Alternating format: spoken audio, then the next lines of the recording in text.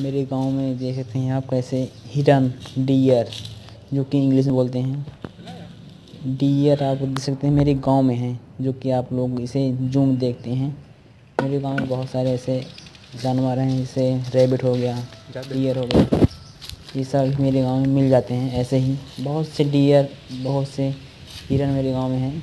आप देख सकते हैं वो देखिए बहुत से हिरन दिख रहे हैं आपको। ये भाग रहा है एक बहुत से हैं। और हम लोग जाते हैं बाग बाग साइड जो कि आपको दिख रहा है पेड़ ये सब आम के पेड़ हैं। यहाँ पे आम का पेड़ खाते हैं लोग पत्ती खाते रहते हैं। आम के पत्ती खाते हैं घास खाते हैं सब खाते रहते हैं। इतना पास पास है?